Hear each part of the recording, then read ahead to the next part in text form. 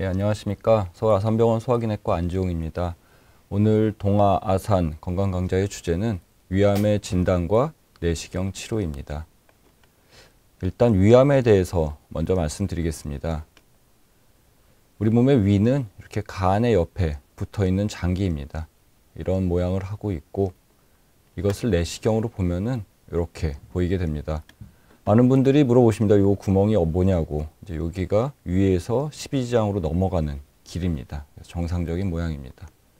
또 내시경을 좀 멀리서 보면은 이렇게 위에 전체 모습을 볼 수가 있고 또 내시경을 보면서 내시경을 180도 회전을 시키면은 이렇게 거꾸로도 볼 수가 있습니다. 이런 식으로 위 내시경으로 위에 곳곳을 보고 여기서 병변이 있는지를 찾게 되는 게 위 내시경 검사입니다. 이런 정상적인 점막에 이렇게 뭔가 좀 이상한 모양이 생기면은 저희가 조직 검사라는 것을 시행하게 되고 거기서 조직 검사 결과를 보고 이게 암이다, 염증이다 이런 것을 얘기하게 됩니다. 이렇게 눈으로 봐도 좀 작고 얕아 보이는 암을 조기 위암이라고 합니다.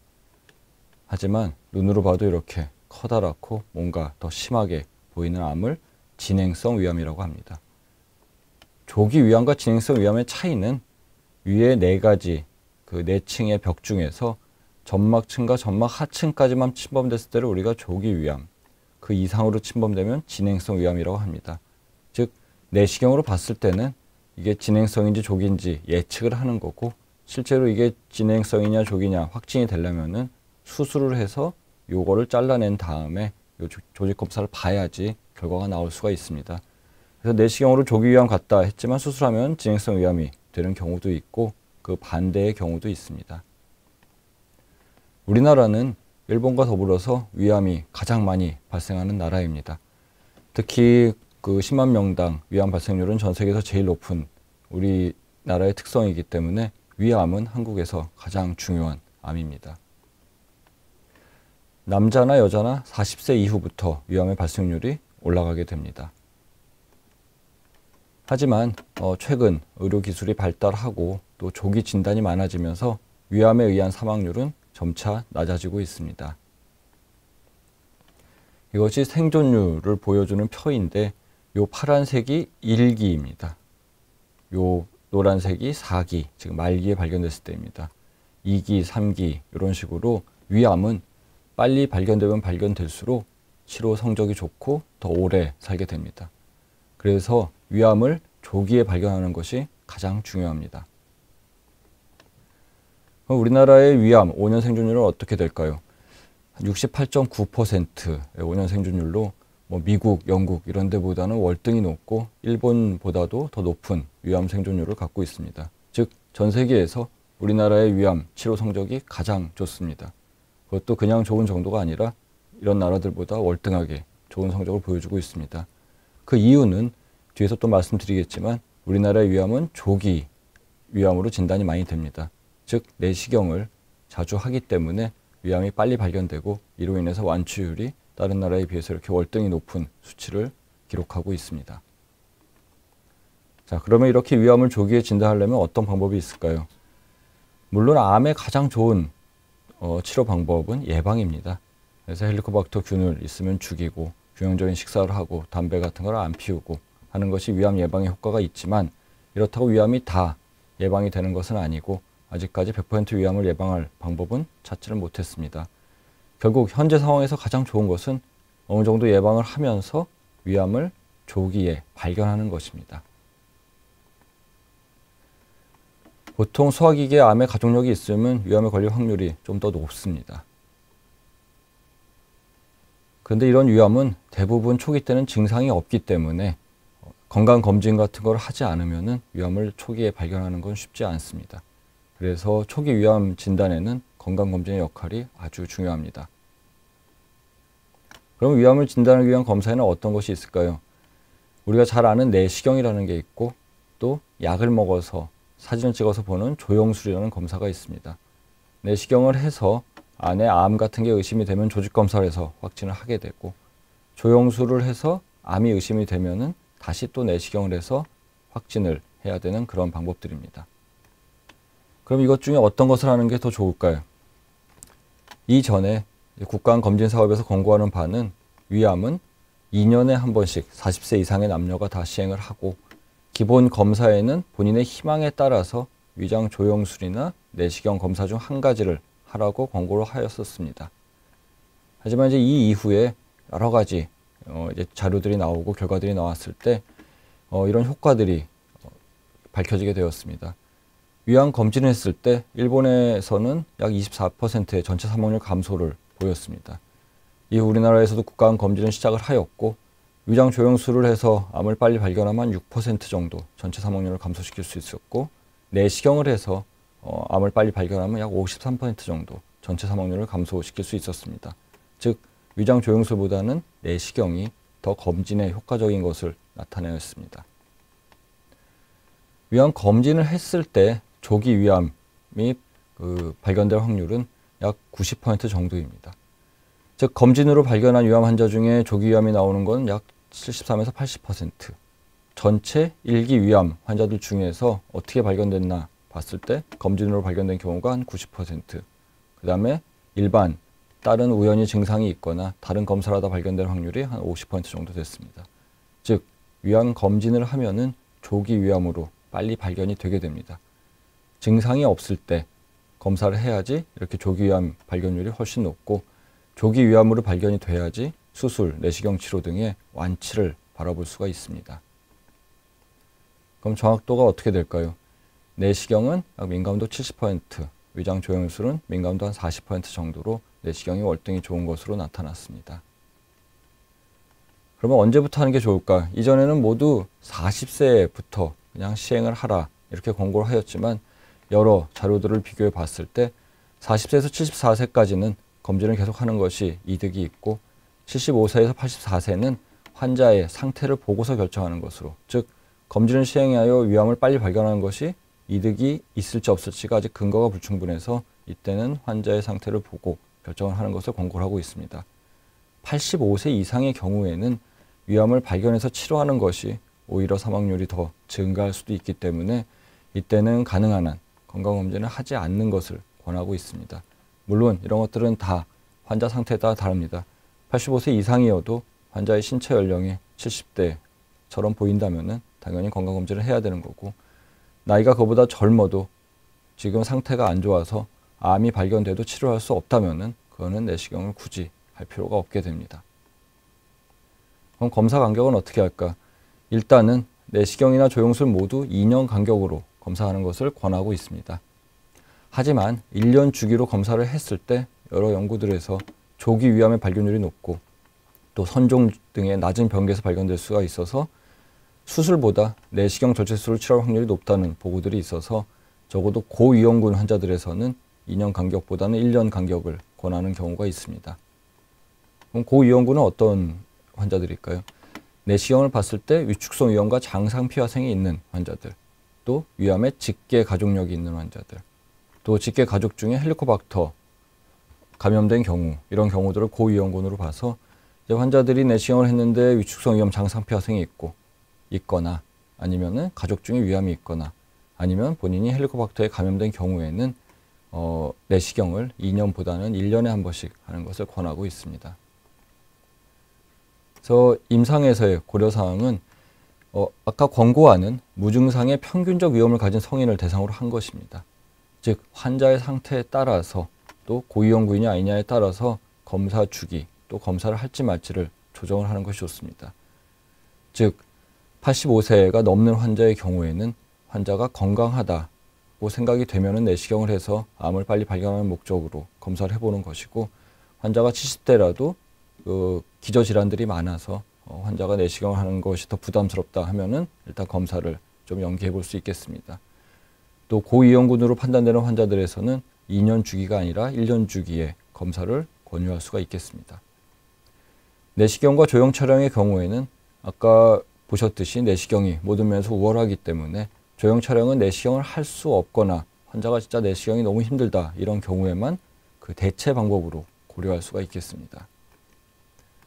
그래서 이런 자료들을 바탕으로 기존의 권고안에서 개정안을 새로 제시를 하였습니다.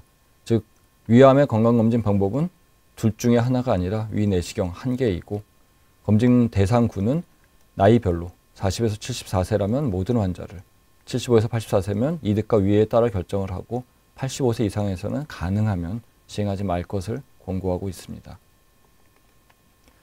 한 번 더 정리해 보겠습니다. 위암 검진을 하기 위해서는 40에서 74세 무증상 성인에서는 2년 간격으로 시행할 것을 권고를 하고 있고 40에서 74세 성인을 대상으로 어, 위장 조형을 어, 촬영을 그러니까 위장 조형술을 하는 방법은 어, 개인이 선택을 하지만 가능한 한위 내시경을 하는 것을 권유하고 있습니다.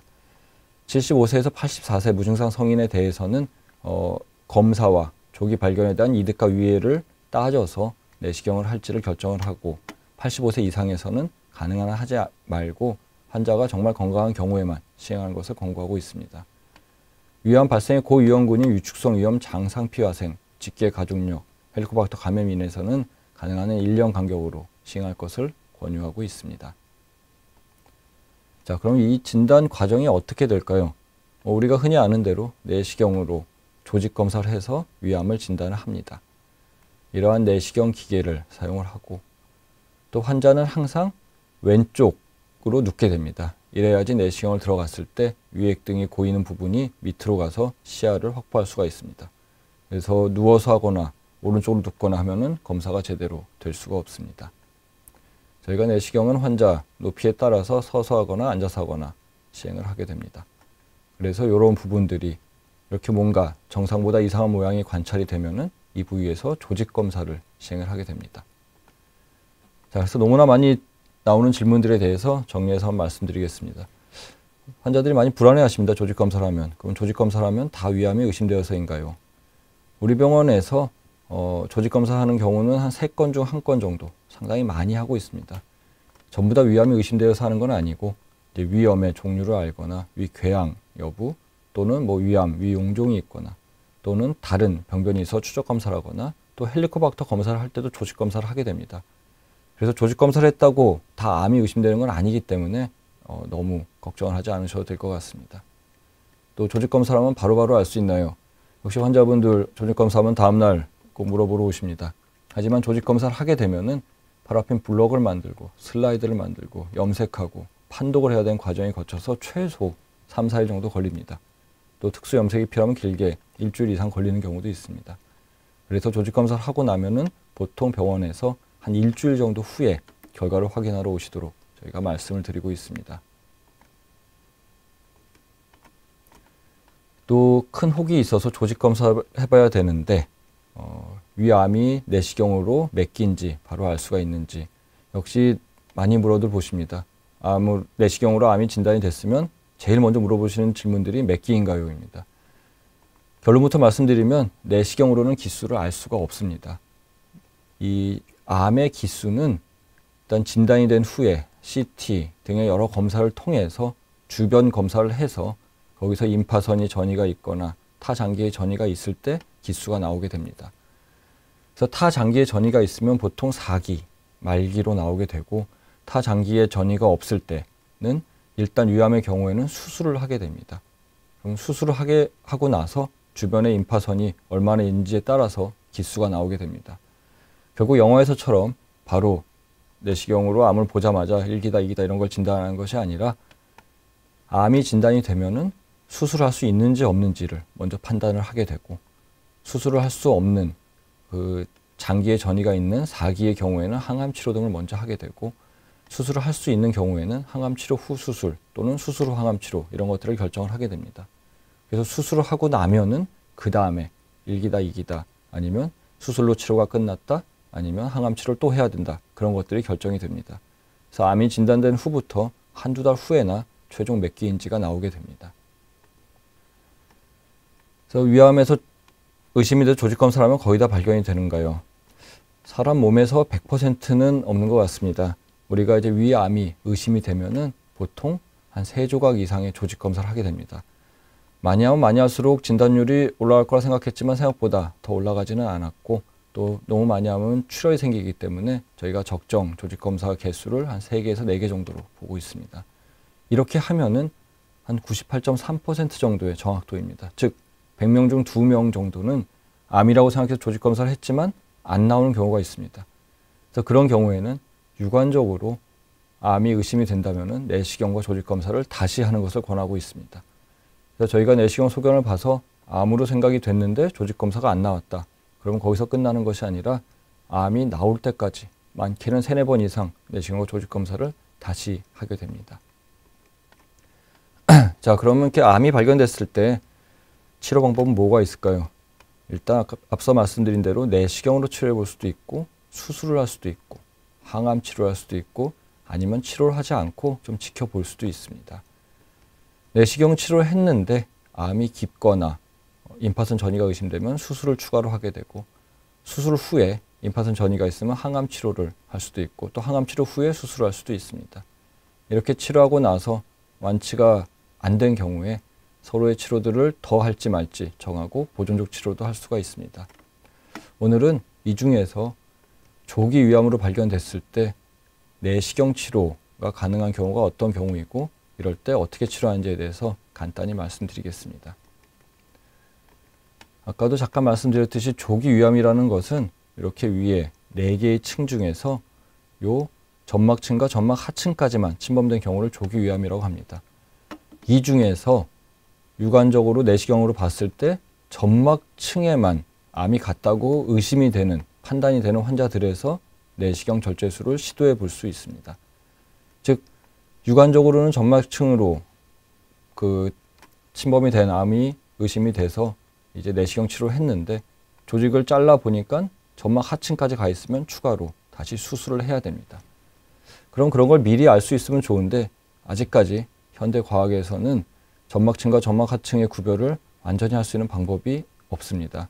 초음파 내시경 등으로 또 CT 같은 것으로 저희가 어느 정도 예측을 해보지만 그래도 한 5에서 10% 정도는 이거 예측이 벗어나기 때문에 추가 수술을 해야 되는 경우가 있습니다. 그래서 저희가 환자들한테 항상 말씀드리는 게 내시경 치료는 해보고 수술할지를 결정하는 방법이기 때문에 이를 두 번 할 수도 있다 설명을 드립니다. 즉 내시경 치료하기 위해서 입원해서 다 결과가 나온 다음에 다시 또 수술하기 위해서 입원하는 경우들이 있습니다. 그래서 이제 그런 것들에 대해서 환자분과 상의를 드리고 그런 두 번 입원하는 것이 좀 더 부담스러우면은 바로 수술하는 것을 권할 때도 있습니다. 이렇게 내시경 치료는 요 네 개의 층 중에서 점막층에만 암이 갔을 정말로 초기로 발견이 돼야지 어, 내시경 치료를 시도해 볼 수가 있습니다.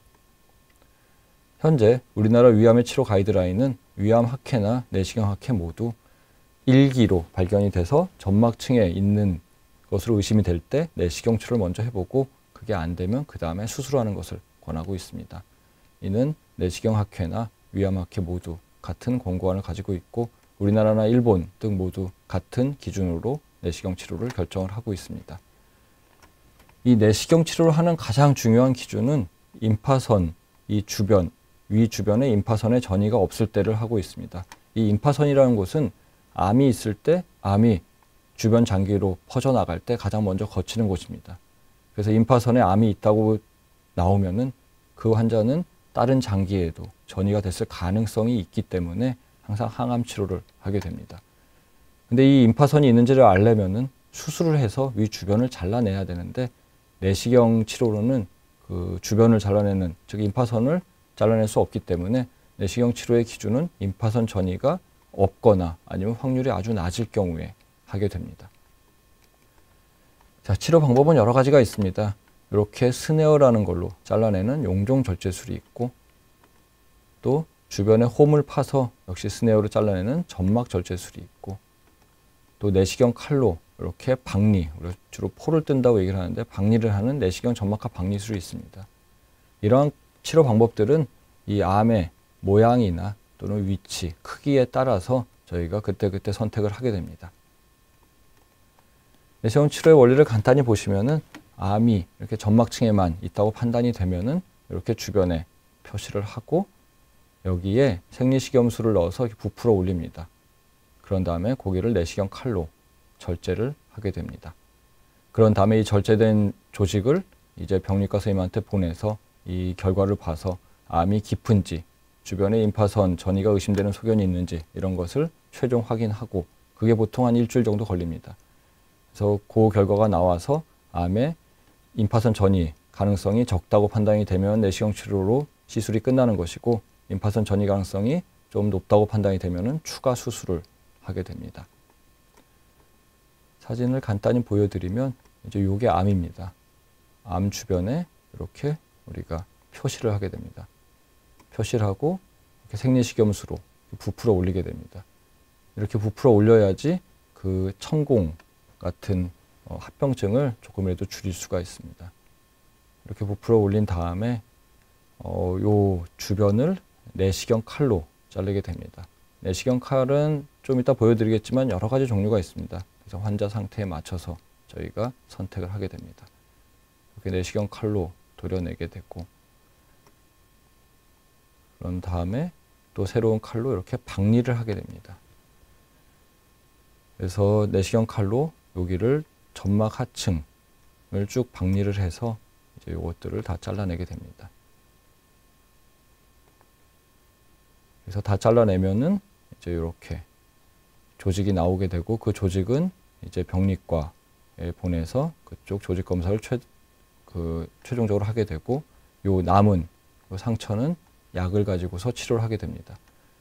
그래서 조기에 발견돼서 내시경 치료로 완치가 될 수 있으면 환자분한테는 제일 좋습니다. 전신 마취 안 해도 되고 또 배를 열거나 뭐 구멍을 뚫는 수술을 안 해도 되고 또 시술 시간도 많이 오래 걸리지 않는 경우들도 많고 그래서 가장 좋은 결과를 얻을 수가 있습니다.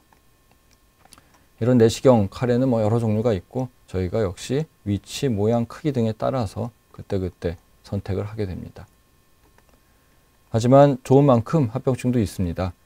일단 가장 큰 합병증은 출혈입니다.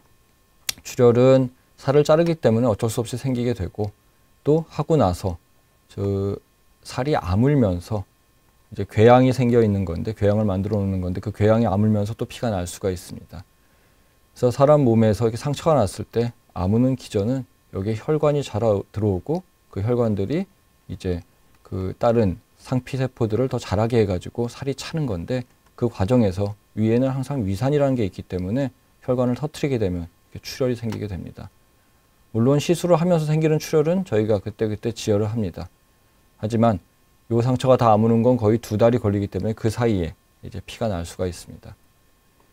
내시경에서 피가 나면은 보통은 증상이 없습니다. 아프거나 하지 않기 때문에 환자들이 느끼지 못하고 피를 토하거나 대변 새끼 까맣게 나오거나 이런 경우에 이제 환자들이 알고 병원에 오시게 됩니다.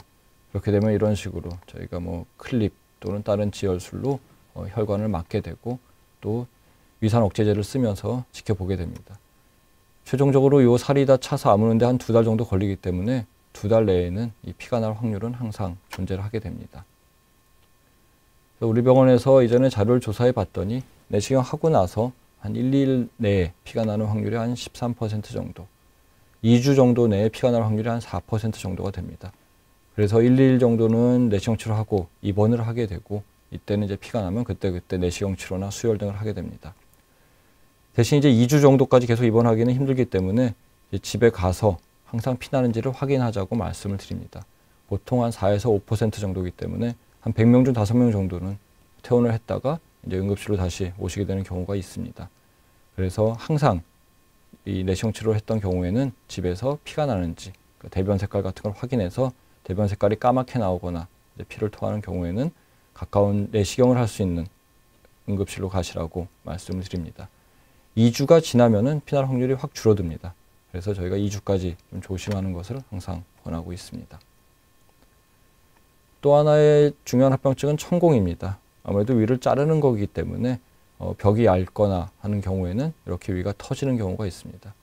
그래서 이렇게 터지게 됐을 때 대부분은 내시경으로 클립 같은 걸로 꼬매게 되는데 어, 이걸로 안 되는 경우에는 수술을 해야 되는 경우도 있습니다. 그래서 이런 합병증이 생기면은 내시경 치료를 먼저 해보고 안 되면 수술을 준비를 하게 됩니다. 천공뿐이 아니라 아까 보였던 출혈에서도 피가 너무 많이 나면은 역시 수술해서 꼬매는 경우도 있습니다. 그래서 내시경 치료는 항상 수술을 준비하고 하는 치료입니다. 또그 흔하진 않지만 암이 이렇게 관광을 둘러싸는 형태로 있을 때 이렇게 자르면은 이게 아물면서 위가 좁아지는 협착이라는 게 생길 수 있습니다. 협착이 생겨서 식사를 못하게 되면은 풍성 확장 수술 등을 시도해 볼 수 있는데 이걸 여러 번 해도 계속 협착이 있으면 최종적으로 다시 수술해서 이 부분을 잘라줘야 되는 경우도 있습니다. 그래서 처음에 암의 모양이 하고 나서 협착을 유발할 가능성이 높다고 생각이 되면은 내시경 치료보다는 바로 수술을 권유하는 경우도 있습니다. 그러면 이제 치료했을 때 어떤 결과가 나올까요? 아까 잠깐 말씀드린 대로 이 상처 자체는 보통 8주 정도, 두 달 정도 그 위산 억제제를 복용하면은 대부분 다 호전이 됩니다. 하지만 이제 이럴 때 호전이 잘 안 되고 피가 잘 나는 경우는 이렇게 잘 먹어서 약 잘 먹고 조심했을 때 피날 확률이 한 4에서 5% 이준에 그런 걸 다 지켰는데도 어, 피가 날 확률이 더 높아지는 경우는 환자가 그 투석을 하든지 간이 안 좋은 그런 출혈 경향이 있는 환자들이나 아니면 위산이 많이 나오는 음식들, 뭐 술, 담배, 커피 이런 것들을 복용했을 때 좀 더 회복이 잘 안 되고 출혈이 많이 생기게 됩니다. 그래서 저희가 보통 내시경 치료하면 한 두 달 정도는 술, 담배, 커피 이런 것들을 좀 줄이 끊고 그리고 약을 잘 드시는 것을 권하고 있습니다. 그 내시경 치료의 이제 결과를 병리과 선생님들이 보시고 저희한테 이제 알려주십니다. 아까도 말씀드렸지만 내시경 치료를 했을 때 어, 임파선 전이가 적은 아니면 거의 없는 그런 결과가 나오면 내시경 치료로 시술이 끝나게 되고 만약에 병리 결과에서 크기, 깊이 등을 고려해서 임파선 전이 확률이 높다고 판단이 되면 수술을 다시 하게 됩니다. 이건 확률의 문제입니다. 그래서 우리가 보통 임파선 전이 확률이 한 1% 이상이 되면은 수술을 권하게 됩니다. 그럼 수술을 했을 때 주변에 임파선이 안 나오는 경우도 있습니다. 수술을 해서 다 다시 봤더니 임파선이 암이 안 갔을 확률도 있는데 그렇다고 수술을 괜히 한 것은 아닙니다. 말 그대로 확률의 문제이기 때문에 눈에 안 보이는 암들이 임파선에 가 있을 경우들이 있기 때문에 그럴 경우에는 수술 후에 꽝이 나오더라도 수술을 해야 되는 그런 상태입니다. 다시 한번 말씀드리지만 내시경 치료는 항상 수술을 어, 준비하고서 해야 되는 그런 시술로 보시면 됩니다. 자, 지금까지 말씀드린 내용을 한 번 더 정리해 보겠습니다. 위암의 건강 검진은 40에서 70세 무증상 성인에서 2년 간격으로 하는 것을 권하고 있습니다. 85세 이상에서는 특별한 경우를 제외하고는 일단 건강검진을 시행하지 않을 것을 권하고 있습니다. 위암 발생의 고위험군인 위축성 위염, 장상피 화생, 위암의 직계 가족력, 헬리코박터 감염된 사람들에서는 2년이 아닌 1년 간격으로 시행한 것을 권유를 하고 있습니다. 진단 내시경의 목적은 위암의 예방이 아닌 조기 발견입니다. 그래서 위암을 빨리 발견하기 위해서 내시경을 시행하는 것으로 생각하시면 될 것 같습니다. 이렇게 내시경을 자주 잘 해서 위암이 빨리 발견이 되면은 조기 위암의 경우 일부에서는 내시경적 절제술로 완치가 가능합니다. 하지만 내시경 절제술 후에 조직검사 결과에서 임파선 전이가 의심이 되면 추가 수술이 필요할 수 있습니다. 만약 조기 위암에 내시경 절제술을 한 후에는 보통 5년간 내시경과 CT 등으로 추적 검사를 해서 재발 여부를 확인하게 됩니다. 5년이 지나면 재발 가능성이 적고 물론 내시경 절제술은 위를 다 살려놓는 것입니다. 위를 자르지 않기 때문에 그래서 암이 생겼던 부위 외에 다른 부위에서 또 암이 생길 수는 있습니다. 그런 것들을 어, 그 재발을 그러니까 그 자리에서 재발하는 게 아니라 다른 부위 재발을 할 수 있기 때문에 이제 그런 경우에는 이 5년간은 뭐 내시경 CT 등으로 그 자리 재발하는 것을 보는 거고 그 이후에도 이 진단 내시경은 계속해서 또 새로운 자리에서 암이 생기는지는 꼭 확인을 해야 됩니다. 즉 5년간 암이 안 생겼다 해서 그 다음부터 검사를 안 하는 것이 아니라 이제 그때는 다른 부위 암을 체크하기 위해서 위 내시경은 꼭 1년마다 하시는 것을 권하고 있습니다. 경청해 주셔서 감사합니다.